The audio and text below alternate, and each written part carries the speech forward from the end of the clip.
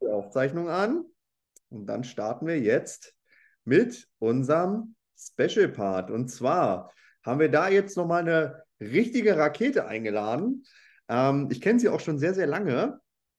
Tatsächlich, ähm, dadurch, dass ich ja auch schon acht Jahre dabei bin. Äh, und die liebe Andrea, die ist auch schon mittlerweile seit 2015 dabei. Sie ist 54 Jahre jung ähm, und hat das damals 2015 nebenberuflich gestartet. Sie ist ursprünglich, äh, hat sie schon 30 Jahre äh, als Verkaufsleiterin gearbeitet. Und ähm, ja, mittlerweile ähm, macht sie das Ganze hauptberuflich. Darüber wird sie gleich auch noch ein bisschen was erzählen.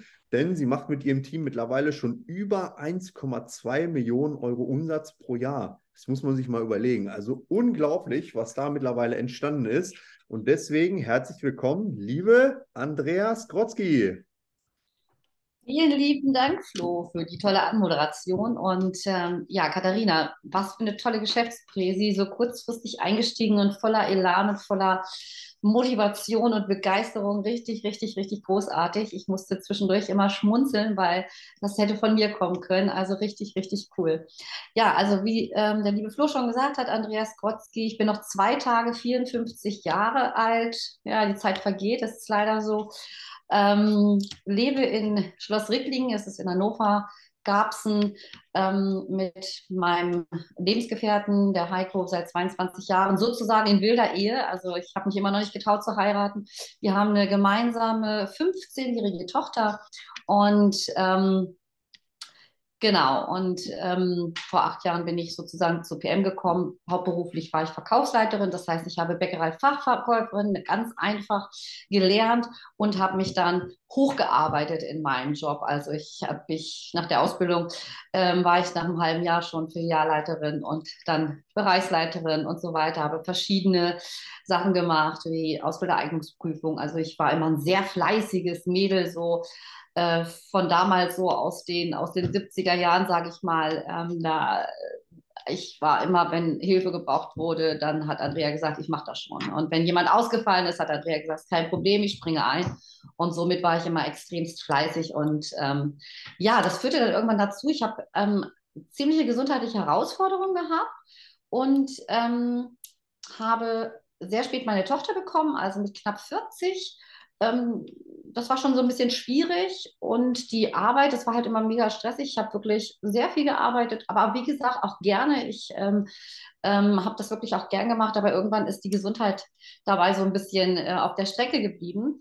Und dann ging es mir total mies, so vor ungefähr acht Jahren und äh, habe dann mit einer Heilpraktikerin, habe Monopräparate benutzt und habe gedacht, es geht mir dann vielleicht ein bisschen besser, konnte nachts nicht schlafen. Das war so mein Hauptproblem, weil ich einfach, ähm, ja, dieser Stress halt, das kennt der ein oder andere ja vielleicht auch, ne? der hier ganz normal im Berufsleben ist und alles geben will. Wir wollen Zuwendung haben, wir wollen Anerkennung haben, wir wollen, dass der Chef sagt, hast du wieder toll gemacht, Schätzelein. Ne? Dann fühlen wir uns gut, auch wenn wir nicht ganz so viel dabei verdienen. Und ähm, ja, und dann habe ich zehn Wochen mit der Heilpraktikerin herum experimentiert, wie gesagt, und ähm, es hat mich so 15 Prozent wurde es besser.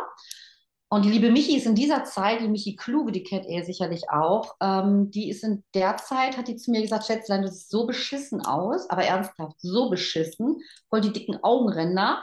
Ähm, du musst die Produkte probieren. Da ich gesagt, klar, morgens ein Tütchen, abends ein Tütchen und dann läuft das, ne? Ja, ist klar, logisch.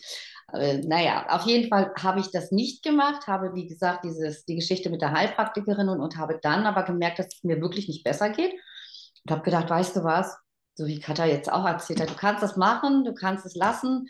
Aber ich habe gedacht, weißt du was, ich habe nur eine Gesundheit und es geht mir nicht gut, ich kann nicht schlafen. Ich, so, ich probiere es jetzt einfach mal aus, weil ich kann das ja nach, innerhalb von 30 Tagen wieder zurückschicken. Also hat die Andrea gesagt, stellt es jetzt gleich mal der Heiko, der hat gesagt, das ist alles viel zu teuer, wenn wir das zu zweit bestellen, können wir uns Kleinwagen finanzieren.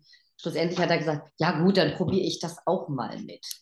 Naja, und so sind wir dann ähm, zu den Produkten gekommen Und ähm, was bei mir, es hat sich unheimlich schnell was verändert, weil auch, wie, wie Katharina in der, in der Präsentation gesagt hat, wir brauchen ähm, Nähr- und Vitalstoffe, die sind mega wichtig für unseren Körper, weil wir bekommen das nicht über die normale Nahrung, schaffen es 2%. A, es ist wahnsinnig teuer, sich das wirklich frisch und saisonal zu kaufen. Und deshalb ist das hier eine, ein ganz, ganz toller Lückenfüller. Also ich konnte nach fünf Tagen schlafen und bin losgegangen wie eine wie ein Kronleuchter, würde ich sagen. Also ich habe äh, alle angezündet, ich habe mit jedem gequatscht, ich habe gar nicht mehr aufgehört zu quatschen. Heiko zwischendurch, wenn wir Besuch äh, bekamen, hat er gesagt, hier rote Ampel, jetzt hör mal auf davon zu reden, das wollen die alle gar nicht hören. Aber ich war so begeistert und um mich herum ist dann ja, dann haben die gesagt, Mensch, Andrea, du siehst ja toll aus. Was, was hast du denn gemacht? Oh, ich habe was ganz Tolles kennengelernt. Das äh, kann ich euch nur empfehlen. Somit ähm, kam da natürlich ganz, ganz, ganz viel Bewegung rein. Dann war ich innerhalb äh, von sechs Monaten International Marketing Manager mit dieser Begeisterung einfach. Und ähm, ja, da ist schon unheimlich viel passiert. Ich habe dann ähm, gemerkt, dass ähm, dass es mir mit den Produkten gut geht, dass ich mich immer mehr von meinem Hauptjob ent entferne, weil ich gesehen habe, dass Menschen also wirklich tolle Resultate haben, mich kontaktiert haben, auch alte Leute, sage ich mal, die wirklich gesundheitlich sind, ja nicht nur altes, aber auch junge Leute gesundheitliche Herausforderungen, die wo ich gesagt habe, nehmen Sie einfach ein Blutbild, probieren Sie es 90 Tage und nach 90 Tagen wieder ein Blutbild und ähm, wo dann die Tablettenzufuhr ja, ähm, reduziert wurde bis über in einem Zeitraum von neun Monaten. Man kann das jetzt nicht, zu, nicht von jedem sagen, aber so wahnsinnig viele, gesagt haben, Mensch, ähm, Frau Skotski oder Andrea, das ist der Wahnsinn. Diese Produkte sind so toll. Ich hätte das nie gedacht, wenn ich die nicht wirklich probiert hätte.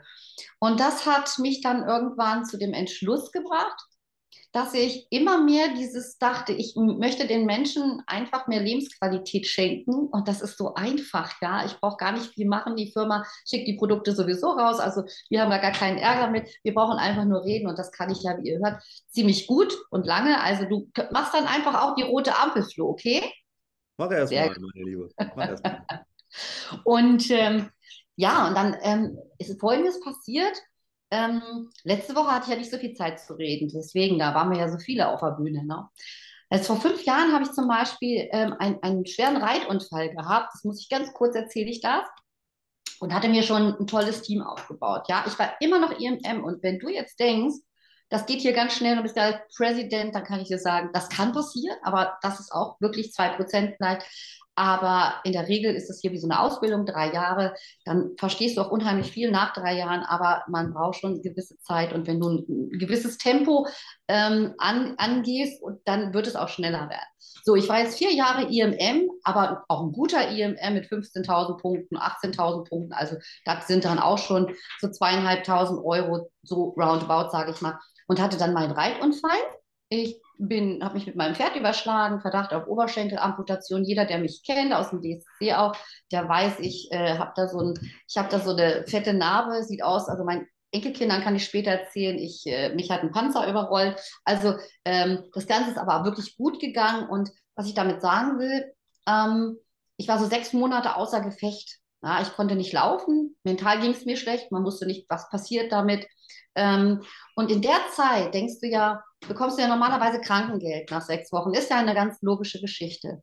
Und bei diesem Geschäft ist es halt so, mein Team hat, mein tolles Team hat einfach weitergemacht. Die haben mich unterstützt die haben mich, die sind auf Veranstaltungen gefahren. Mein, mein, mein Heiko ist auf jeder Veranstaltung gewesen und hat mich dort vertreten. Das Team hat, da ist nichts mit stagniert gewesen, ja. Das, es ist weitergelaufen, es ist weiter, es ist gerollt und das ist halt einfach so toll, ja. Du bist krank, du bist wirklich krank und das Geld kommt weiter und das ist, ist so eine, Geschichte, die erzähle ich ganz gerne, weil die ist wirklich bewegend und die hat mir dann irgendwann gezeigt, ich möchte raus aus diesem Hamsterrad und ich möchte das ganz gerne hauptberuflich machen. Ich möchte ganz gerne das PM-Geschäft hauptberuflich machen. Ich reise gern.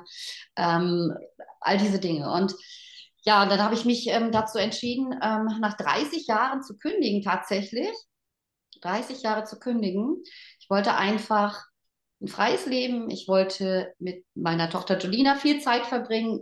Weil ich bin ja ziemlich spät, habe ich sie bekommen, also ich werde immer älter. Ich möchte einfach intensiv Zeit mit ihr verbringen und nicht ständig äh, im Geschäft sein. Und, ähm, und das war mir wichtig und für die Familie einfach mehr Zeit und auch mehr Lebensqualität. Und dann habe ich die Entscheidung getroffen und ihr könnt euch nicht vorstellen, die haben alle um mich herum gesagt, sag mal, bist du bescheuert? Du kannst doch nicht kündigen nach 30 Jahren. Das geht doch gar nicht. Ne? Du kannst goldene Löffel klauen. Aber wir sind im Guten, im Guten auseinandergegangen. Ich ähm, äh, mache hauptberuflich PM und ähm, nebenberuflich bin ich zwei Tage im DSC Hannover. Der eine oder andere habe ich da ja schon gesehen.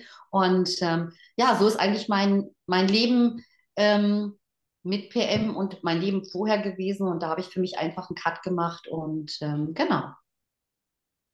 Ja, mega, lieber Andrea. Ja, das ist auch echt, ist echt der Hammer, was einfach so passieren kann, wenn man hier einfach mal durchzieht. Ne? Also was würdest du denn jetzt sagen, was ist so das Besondere? Also klar, die, die Menschen wahrscheinlich, das passive Einkommen, das ist so ganz toll. Was ist so, so wieso, was sind so deine Highlights? Warum PM eigentlich? Also warum PM? Weil PM einfach die Network Marketing ist einfach eine komplett geile Geschichte und ähm, ein passives Einkommen zu verdienen außerhalb also in meinem Alter sind ihr seid ja, sind ja relativ viel Junge, aber grundsätzlich ein passives Einkommen zu haben, mehr Freiheit zu haben, na, neben deiner Rente, stell dir vor, du kriegst eine Rente, was weiß ich, hätte ich gekriegt, keine Ahnung, 1200 Euro, äh, äh, äh. Ja, was willst du damit machen? Alles wird teurer, brauchen wir gar nicht weiter drüber reden, wisst ihr alle. So, und dann kriege ich meine 1200 Euro und jetzt bin ich im Presidentsteam und habe da wer das ausrechnen kann, eine ganz andere Summe, mit der ich geil leben kann. Natürlich muss man auch immer etwas ans Finanzamt abgeben, gar keine Frage. Man muss immer realistisch sein bei der ganzen Geschichte. Aber was ich, es hat sich einfach nach 30 Jahren gekündigt, zwei Tage im DSC Hannover ähm, und 80 Prozent ähm, PM.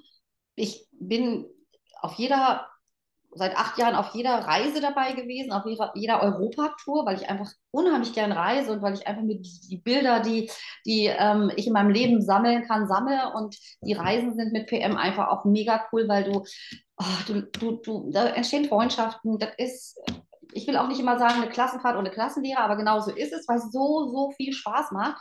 Und ähm, du hast Zusatzleistungen ich, ich bekomme vom PM halt auch, ich zahle eine Rente, äh, einen gewissen Teil und das kriege ich zurück, was die Katharina von auch gesagt hat. Ich habe jetzt mein drittes Auto bestellt.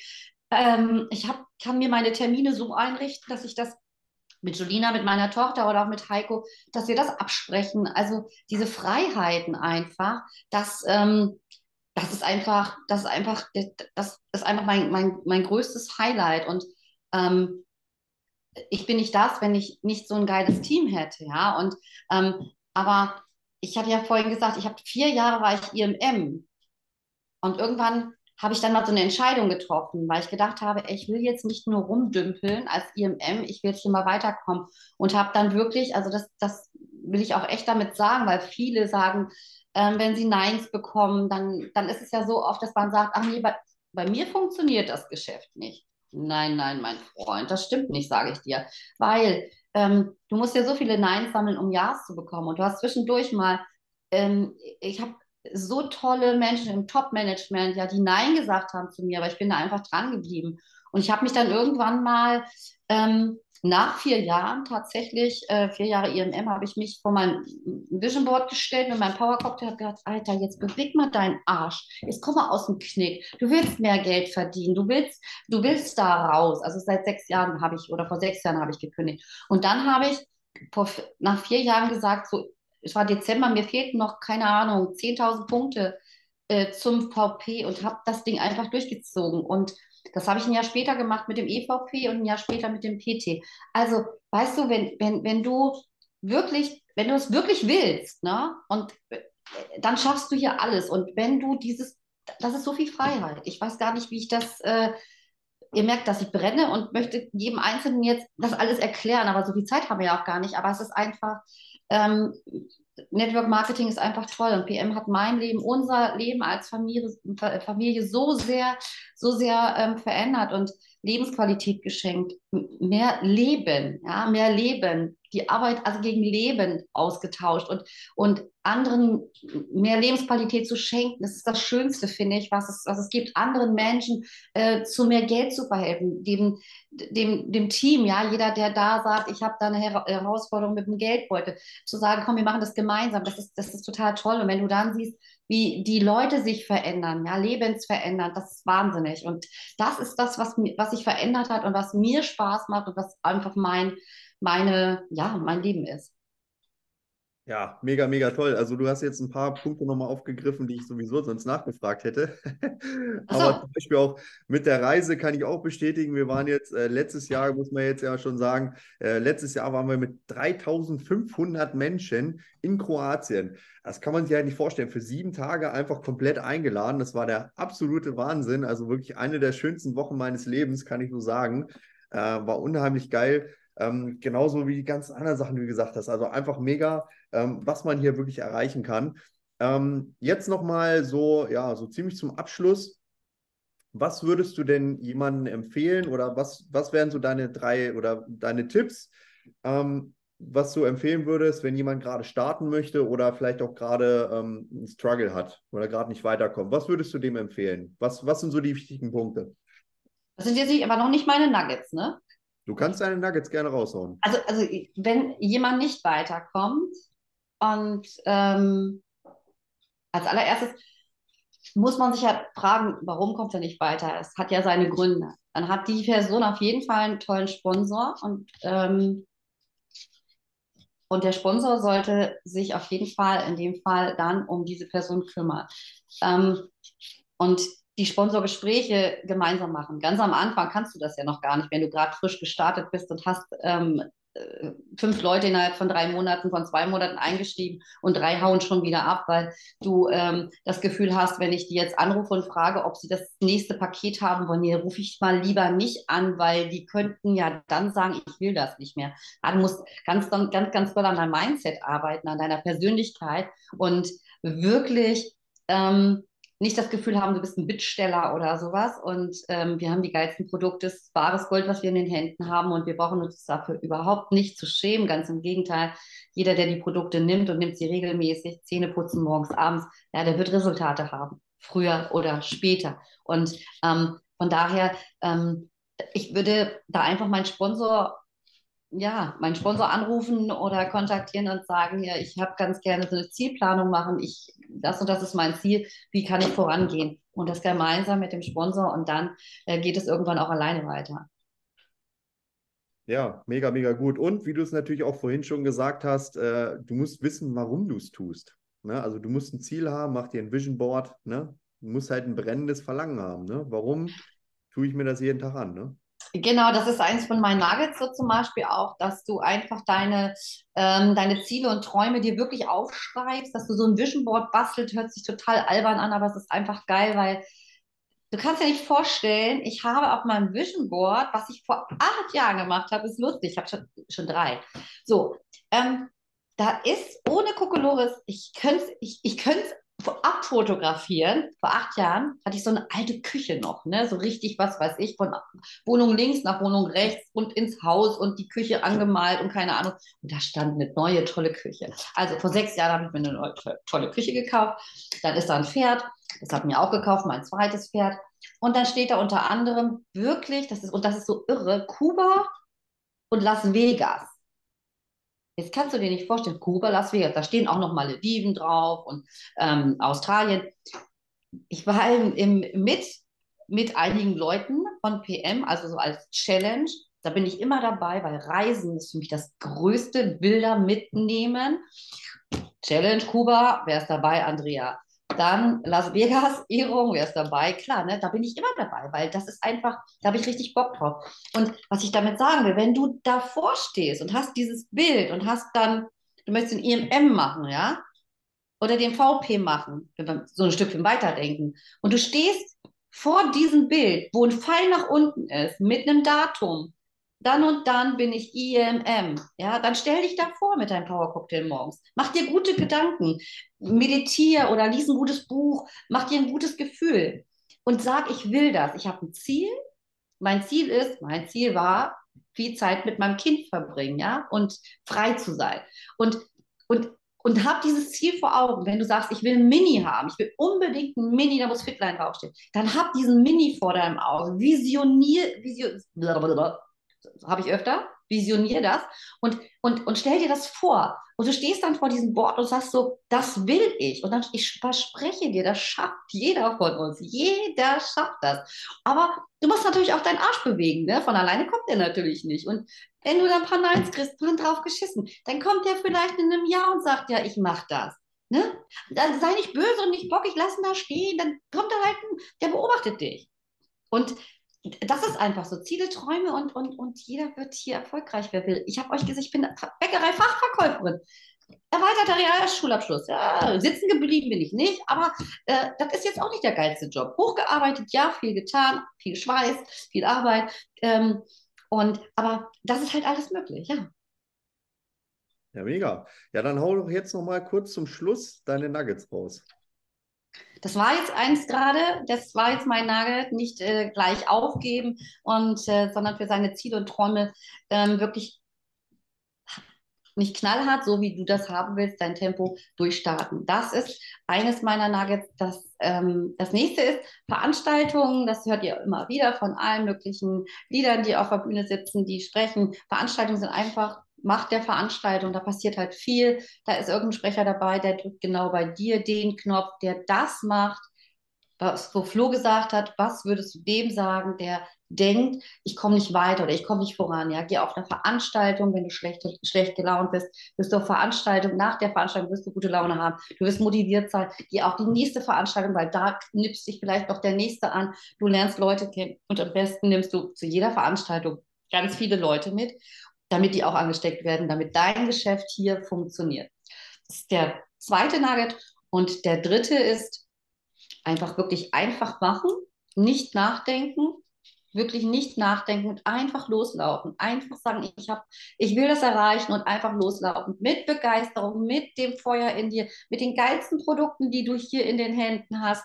Und dann kann das einfach erfolgreich, wenn du fleißig bist, vorangehst, den Leuten das Richtige sagst, ja, regelmäßig nehmen, Zähne putzen morgens, abends, nicht vergessen, zwischendurch anrufst, all diese Dinge, die kannst du mit deinem Sponsor besprechen, dann wirst du hier garantiert erfolgreich. Und das es gibt so einen Spruch, hört sich total bescheuert an, aber es ist so, während äh, die Schlauen noch nachdenken, stürmen die Dummen schon die Burg. Zieh dir das jetzt mal richtig rein. Wenn du denkst, dass du hier Ziele erreichen willst, dass das Auto ist, ob es die Reise ist, ob es Freiheit, Zeit, Geld, egal was, dann zieh das durch. Guck dahin, wo die Großen sind, wo die Lieder sind, die da, die, die, die total authentisch sind, die, die, die du umarmst, wenn du sie auf einer Veranstaltung siehst und sagst, ah, ist das ein geiler Typ? Und ich will genauso bleiben. Ich will genauso, mein Herz soll immer noch am rechten Fleck sein. Ich will nicht kein Überflieger sein, nur weil ich einen Titel habe, sondern das will ich. Und die machen tolle Sachen und such dir einfach die Person, die für dich sympathisch ist und äh, zieh es hier durch. Ja, genau. Ja, mega gut. Also das kann ich auch immer nur wieder sagen. Hör auf die Menschen, die da sind, wo du hin willst. Ne? Also wenn du, wenn, du, wenn du ein Sixpack haben willst, dann fragst du ja auch nicht deinen Onkel Günther, der, der einen riesen Bierbauch hat, sondern du gehst halt zu wem hin, der halt ein Sixpack hat. Der weiß ja, wie es geht. Und dementsprechend genauso ist es hier auch im Geschäft. Also hör auf die Menschen, die da sind, wo du hin willst. Genauso wie die Andrea zum Beispiel. also wenn du erfolgreich werden willst, äh, dann frag die Andrea. Genau. Ja, vielen, vielen Dank, liebe Andrea, für deinen mega Special Part. Ich habe jetzt in kurzer Zeit zweimal deine Story gehört, aber es ist einfach der Wahnsinn, wirklich. Und du wirst das hier auf jeden Fall noch ganz, ganz weit bringen. Das sehe ich schon. Ähm, ja, jetzt will ich mich nur noch mal kurz bei allen Sprechern bedanken, bei den lieben Katha für die mega Geschäftspräsentation, bei der Hanna und bei der Sarah für die Erfahrungsberichte und natürlich, liebe Andrea, nochmal vielen, vielen Dank für deinen Special Part. Unheimlich wertvoll. Danke, danke, danke. Und ja, dann bleibt mir nichts anderes noch zu sagen, außer wenn du Bock hast zu starten, dann sprich jetzt am besten mit deinem Ansprechpartner, der weiß nämlich, was da am besten der oder der beste Weg für dich ist. Und ansonsten, ja, wünsche ich euch maximalen Erfolg und noch einen richtig schönen Abend. Lasst es euch gut gehen und bis bald.